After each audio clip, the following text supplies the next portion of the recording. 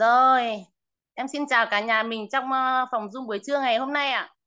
Thì à, lời đầu tiên em xin giới thiệu em tên là Thơm và em đến từ thị trường Hải Phòng.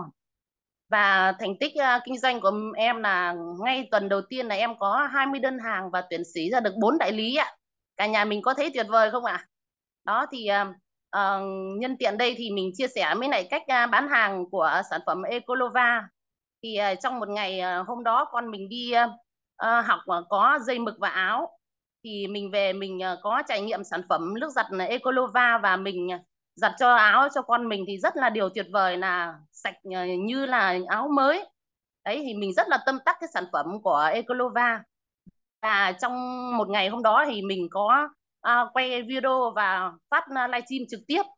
Thì uh, có một chị uh, vào ủng hộ mình một thùng nước giặt. Đó thì uh, à, tiếp theo nữa thì lại có một chị nữa. Thế là trong kia hôm mình mình phát ra video đấy thì có hai chị vào chia sẻ và ủng hộ mình hai thùng nước giặt à, à, trong đó là có 8 chai. Đó và các chị à, dùng sản phẩm thì à, lan tỏa cho mình rất là nhiều.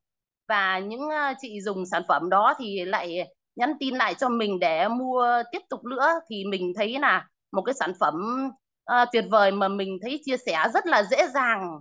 Đó thì mình thấy uh, đạt hiệu quả rất là cao và mình cứ tiếp tục mình à, quay video và livestream phát trực tiếp thì sản phẩm của mình lan tỏa cho khách hàng rất là nhiều cả nhà mình ạ. Đó.